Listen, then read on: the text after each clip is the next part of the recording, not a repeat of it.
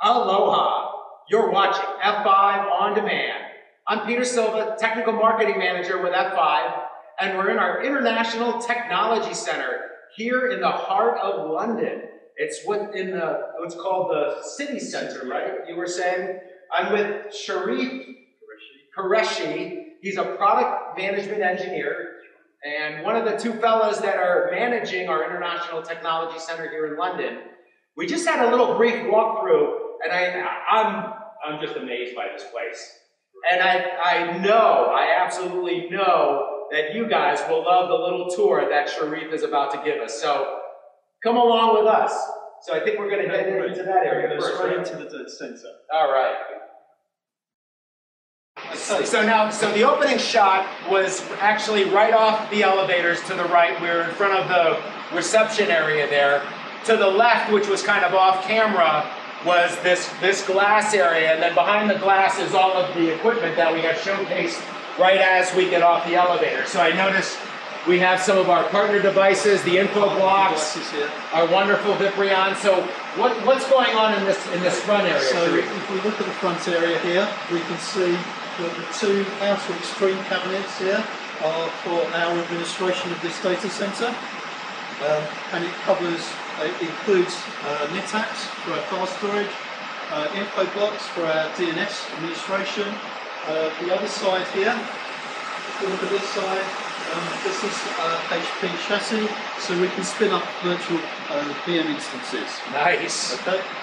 Um, in the middle here, we can see uh, a number of our F5 equipment. Yep. Uh, and we'll use this for uh, demonstrations, proof of concepts, performance testing, that kind of thing. So, you know, to allow our customers to kind of have a good play with our equipment. And I notice we have pretty much every single one of our models. We have the 1600s, the 3600s, 3900s, our ARXs, the new 1100s, which are pretty cool, and even the Viprion chassis Yeah. and 89s. Yeah.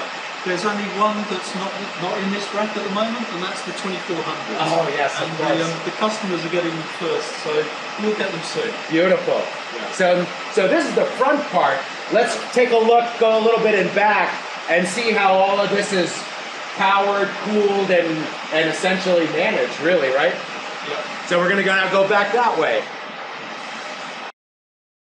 And now the first thing I noticed when we walked in is these these tanks that almost look Yeah, like helium tanks to build, you know, the, the clown balloons, yeah? Exactly. Yeah, they do stand out, don't they?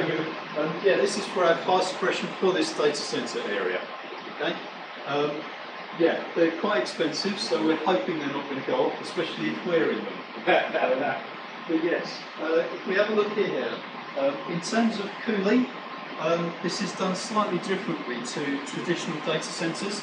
Uh, most data centers that you see in the UK have the air coming up from underneath the floor um, and coming into cabinets. And those cabinets are usually closed, you've got fans in them, and that draws the air. And that's the classic design of most data centers, the raised floor and bringing Yeah. the, the cooling from underneath so heat rises and so forth, right? That's right, yeah. And we're doing it slightly differently here, insofar that we've got this grill here, and you'll probably noticed around the front, when we were talking around the front, you can see a grill there. Uh, and this is effectively the cold area. So we're pushing air into this cold area in the front and the back. Uh, and essentially, if you look at the equipment here, uh, and these racks, you can see that we're, we've sealed it from bottom to top. Yep. Uh, the only way air can be channeled through into the warmer area is through the equipment. So the equipment is drawing that air in and pushing it into the hot room. So if we take a walk in there, you should notice a temperature change. So, so the only flow is right through the equipment. There's no little holes or space. It has. It's probably jumped up maybe five, ten degrees. Yeah, it's a little bit warm now. And um, if we um, if we come through further, because uh, one of the other interesting things about this centre is that everything is managed. Um, so if we left that door open for about two minutes or so, we'd have got an alarm because it's very important that we keep the cold area cold and the hot area hot. Yeah. Yeah. And in terms of drawing that air through, uh, we're using simple convection to keep it circulated. So you'll notice the grill in this area is higher. Yeah. So hot air rises obviously, and of course it circulates through back out into the aircon area. And so instead of having the air circulate, well, actually more like this way, Yeah. it's going that way. Much more efficient, I would imagine. It is definitely much more efficient. And in terms of the badges, so Ross Draper, our camera guy, another PME who's helping us with the video here, has his ID, you have your ID, and each of the doors you need a badge to get through. Now, within F5, when we talk about um, how we want to deliver applications, it's a lot of times user context and you know taking the information. And I'm I'm guessing that each time you badge it, even it identifies that it's yourself and or. Ross Yeah. that are coming through that door. Only myself and Ross are allowed through. There's a couple of other PMEs um, and our boss, of course, Yeah. uh, that has access to this area. Wow. And even you were showing me earlier, one is the uh, Yeah. So if we look at these um, uh, power uh, connectors here, the red ones are for UPS, uh, and the other two are just for uh, additional power for these racks. Uh, one of the other interesting things about these cabinets, insofar that, I mean, having a look at it right now, you can see that there's a lot of capacity for growth. Yep. Um, traditionally, uh, in data centers, you'll find that uh, they will run these racks to about two or four kilowatts. Uh, we're intending to be able to run it up to 10k. So we would look to fill these top to bottom, yeah, with equipment over time. nice. So it's going to be kind of noisy, but I think it's also will be interesting to let's go move into the look cooling the area. HVAC area and show Okay. you what that's like. Now, one of the interesting things is that this uh, technology center has only been been open for about three weeks, so you guys are getting one of the first looks at one of our newest uh, data centers, really. Exactly. Yeah. Yeah. So now we got to go around the other way. Yeah, we've had um, a few customers turn up so far, um, and they've all been um, suitably impressed with the centre. Or blown away in the states. Yeah. Yes, yes, I'm, I'm being very British reserved. Oh, no, I love it. Exactly. So let's step into the HVAC. All right.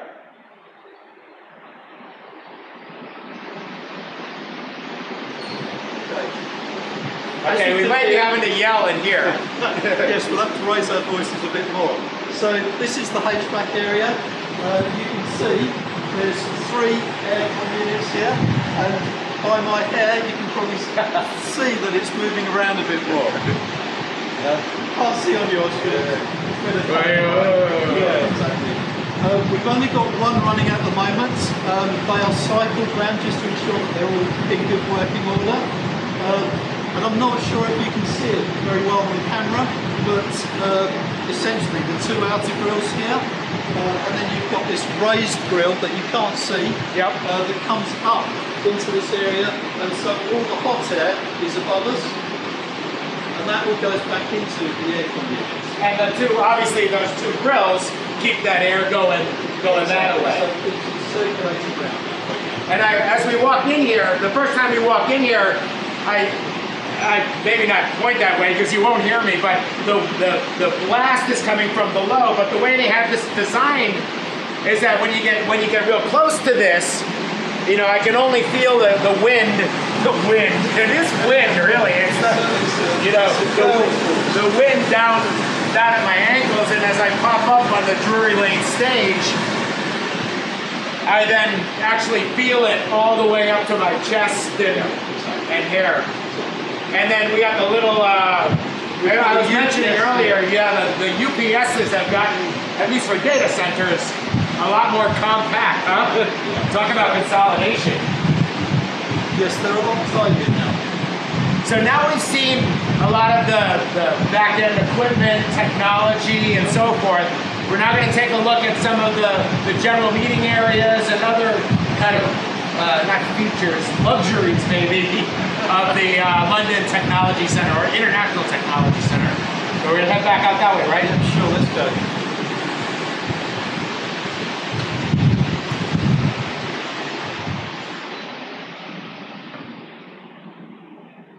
Okay, so So are you guys impressed yet? I, I know I am. So if we step into the uh, main meeting room, this is called the EBC. Uh, this is where we have our initial customer meetings. Um, it's all technology driven. Uh, it's all about technology here. So um, if you look at the system in here, it's all managed by that uh, PDA. So if you want to touch that screen. Okay. The decibel level has dropped about 20, huh? Yes, you've noticed that the sound is, is much more, well, it's very quiet. Yep. Yeah. Uh, so let's click on Media PC. Media PC right there. Okay.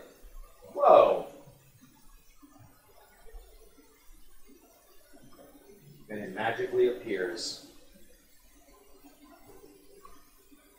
So in, in here, uh, we do our general presentations. Um, we've got good audio in here, so uh, if you need to do video presentations, you can do that as well. Whiteboard facilities allow you to do your drawings uh, and discuss technical issues in a little bit more detail. And then the other thing we were playing with uh, earlier is, you know, they got the little tabs here. You got your video tab for the you know podium to do presentations, the table, laptops, what have you. But then also the lighting. You were mentioning right that based on on the type of activity you want to do. Exactly. So we, we did video, and then that changed the So- light so the lighting configuration. around here will change based on what type of uh, presentation you're doing. So if you want to watch the video, uh, then basically the, the inner cloud lights will go dim and the outer ones will come on. If you want to do a presentation uh, just as a person, then all the lights come on. Yeah, so you Uh, just so hit- it varies. It's quite bright. Yeah, you really can't tell it's, on video. It's very but- bright today, so it's hard to tell all that. But yes, certainly it, it makes a big difference in the slightly darker area. And right outside here um, is Old Broad Street. That's where we're located here in the city. Is 30 Old Broad Street. So if you're familiar with that location, uh, that's where we're located. And there are, I think, uh, maybe two more areas we want to share, right? Yes, let's go and have a look. Okay. Right, this is the, um, the bar area or reception. Yep. So here uh, we can also uh, run uh, presentations, um, but usually what we do is we use this, uh, leave this video running. And not not to not to minimize the, the data center or the the sales conference room, but we've kind of saved the best room for last. Is that right? That's right. Uh, one of the other things that we do on this video wall is uh, greet the customers, and I think um, if we pan around, we've um, given you a welcome. Yeah, I was uh, tickled by that. And it's also nice to be promoting our, our various partners. Yeah, when I walked in, I was like, oh my god, they have my name up there. That's so cool. Thank you. Great, great. So if we come along here, there's two other rooms. Uh, this is a slightly smaller meeting room. Um, works very much the same way as the other one, just slightly smaller, um, but does the same thing. We've got all iPad controlled, um, so we can do exactly the same kind of thing. Very nice. Very nice. Um, and the other one?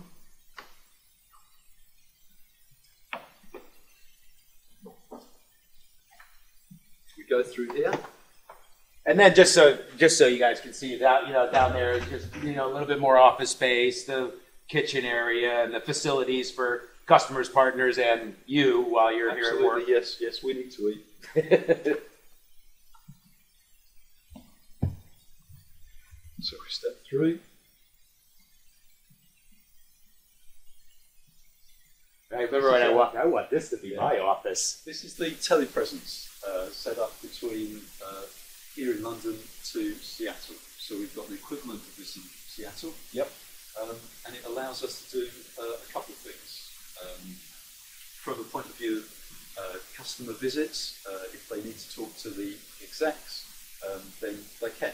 They can come here, we can have John Cannon alongside, and they can have those meetings. Mhm. One of the other things that we can use this facility for is uh, for performance testing. In Oh. London, we've got a limited amount of performance test capability here, uh, but in Seattle, we've got the Ixia system. Uh, so if customers have a requirement for performance testing, it can be built in Seattle and then broadcast, presented to here. So customers don't need to travel to Seattle to go and see it. They can see it all here. Each one of these desks has got I know one of those little, little magical. Uh, so we can bring up a, a screen uh, and then they can see that demonstration um, directly. and then that then we also have. Uh, I noticed all the way down the end here. Yes, we've got a we've got a smart board. this is pretty cool. It, wh- what we intend to use this for is uh, interactive whiteboarding between the two areas. So uh, essentially from here you can draw something on the on, on the board here. It will get presented to these monitors down here. So if I just click that switch there, um, that should allow you to see that whiteboard section. Yep. So we got So, it. yeah. So we got it here on the on the on the monitor So if you section. want to do an artwork of something, Oh, I don't know. Maybe I'll just do the. Uh,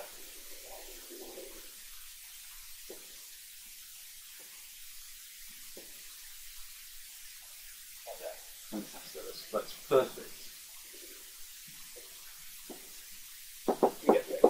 Great. So you should be able to see that on the um, monitor there. So it's presented there, and the intention is is to be able to uh, display that in Seattle.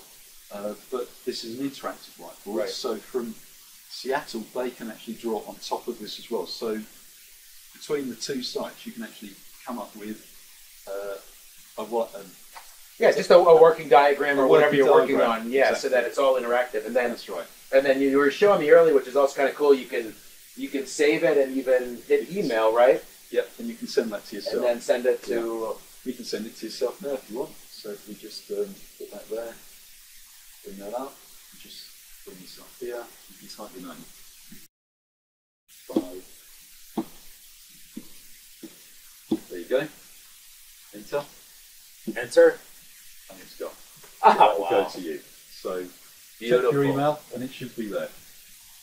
And obviously the same functionality if I'm, you know, sitting at my desk and I want to, you know, email it from any of these monitors and. You can't email from these monitors. Oh, you can, I so, see. So these monitors are not touchscreen; they are just simply there for display. Oh, I see. Okay. Well, that's actually that actually is much better because then if you know I'm going to sneak an email to myself of this picture, then it's all you know Yeah, managed from right. one location. That's kind of cool, actually. And I don't know if you noticed, but, uh, Ross, maybe come around a little bit. I mean, I don't know if you caught it when we when we came in, but the the folks would you know sit in this location, and then you can't really tell with the camera, and you don't necessarily need to get that close. But we got we actually got four cameras. Don't touch it. I'm not. no, I got. He's like, don't touch it. No, I know. we got four cameras in there, and then each one of these screens. Now it's. Let's see. It's uh, very- like five in the morning, four in the morning in Seattle, so it'll be dark there. It's dark there. It's not worth presenting. it. Yeah. So each of these would then come up with the with the various people in Seattle that that our customers or yourselves are meeting with, and then we got our the uh, hanging microphones up top. Not only is This this is a- room This the is sound is kind of it's Yeah. nice in here. It's an immersive telepresence environment. So basically, those screens are HD. Um, so when you bring up a connection, um, the, the people appear very clear. Um, there's a lot of detail that you can see at the other, side. So um, certainly, when I've had a couple of meetings here, when they brought in their coffee cups um, or, or drinks, you can actually read the writing on the drinks themselves. So it's that detail. You can really see it. And then- well. Right. The microphones up here um, allow for directional audio. So if I'm standing over here or sitting over here, um, it will appear at the other side that I'm talking from this side of the room. So when they say immersive, it, it is totally immersive insofar that you really do get absorbed into having that meeting. Um, the other thing that we find um, uh, that is good about these uh, meetings as well that are held in here, um, that you don't feel as tired looking at the video because um, but those aren't LCD screens or monitors that it, basically light is reflected onto those panels um, and you can stay in here for hours um, just having your meetings. You don't feel that tired. And you, You, actually like sitting in meetings for hours and you know- hours? you know, we've had a number of meetings in here. Well, no, but we have had a number of meetings in here, and you just don't. You, you just feel like you're actually talking to people Yeah. and getting on. Yeah, I mean, there's great, always yeah. situations where where especially opening a new a new facility such as this. I'm sure, Sure. you spent you know a number of hours. We've spent a number of hours in Preparing here and- talking to people remotely, uh, discussing issues, working through problems, Yeah. um, that kind of thing. Yeah, absolutely. wow, this has just been fantastic. Good. Glad you're pleased. Yeah. So, ladies and gentlemen, there you have it. Our International Technology Center in the heart of London, serving all of the EMEA region, right? Exactly.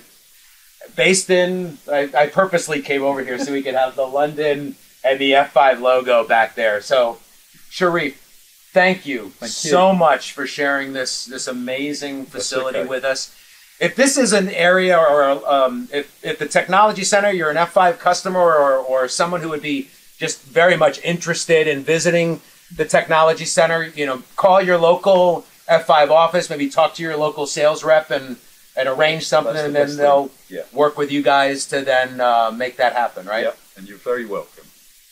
So for Shareef and Ross, our great camera guy, I'm Peter, and we're with F5 Networks. Thanks for watching. Thank you.